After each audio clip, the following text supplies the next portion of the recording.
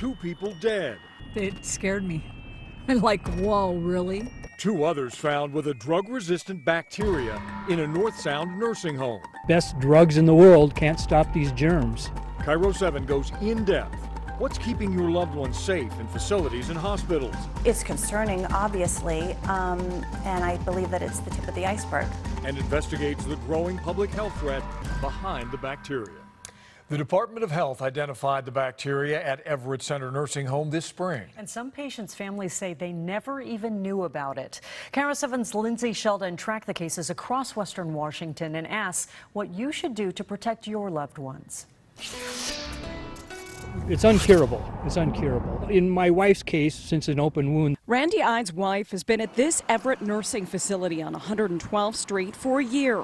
Danny Haslin's husband, just a couple of weeks. He has a an, an IV in his arm where he's been getting antibiotics because he's been sick. Preventing pain and infections is always on their minds. So when KIRO 7 was the first to tell them about two patients dying with a drug resistant bacteria earlier this year, they were shocked. That kind of blows me away. And I wish somebody would have told us that. But I would be worried if something like that happened to my husband. In fact, KIRO 7 only discovered the deaths when they were mentioned in public records we requested from Snohomish County on a completely different subject. In this situation, we've uncovered a problem that we didn't know we had. Dr. Marisa D'Angeli with the Washington Department of Health says this problem is called CRAB. It's a kind of bacteria that's resistant to a class of last ditch antibiotics. And the CDC called it a serious threat in this 2013 report. Antibiotic resistance is a growing problem, and it's a problem not only in the United States but all around the world.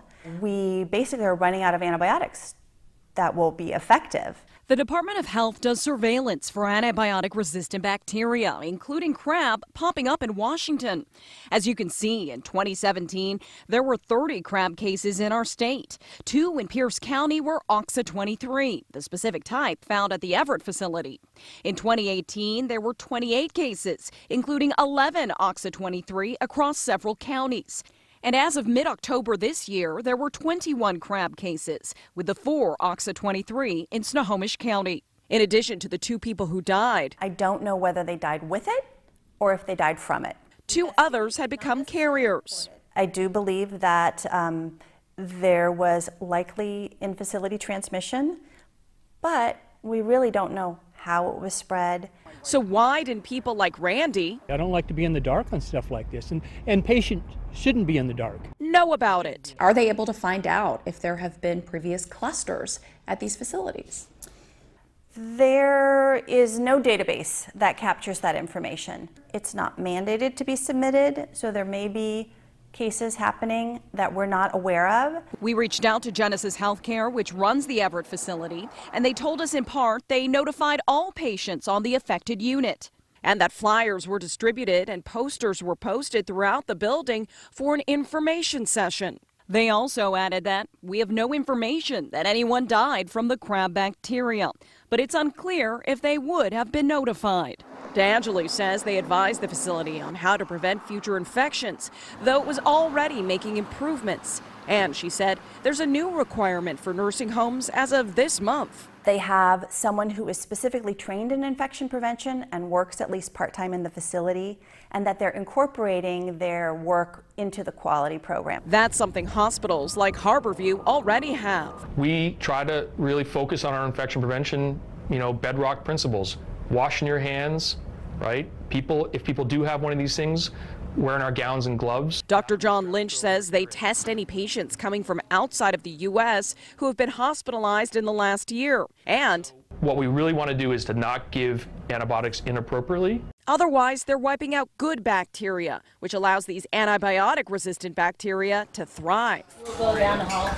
But at a nursing facility, what can you do to protect yourself or a loved one? Dr. D'Angeli recommends checking the facility on the state's Nursing Home Compare website. Asking about their infection prevention program, reminding healthcare workers to wash their hands, and making it easy for staff to clean the room properly. Move things that are in the way, you know, encourage them to come close to the bedside and clean the, the bedside table and the bed rails and stuff like that. Families of patients like Randy Ide and Danny Haslin are fearful, As for cleaning, they could do a lot better job. There's no question in my mind. but also hopeful about improvements ahead. He's been through so much. I hope that they've got this under control. We also learned this type of bacteria can transfer its antibiotic resistance to any other bacteria it touches. It's why doctors are so concerned, especially for medically fragile people like the patients we showed you here. It doesn't normally affect people who are healthy. Lindsay Sheldon, KIRO 7 News.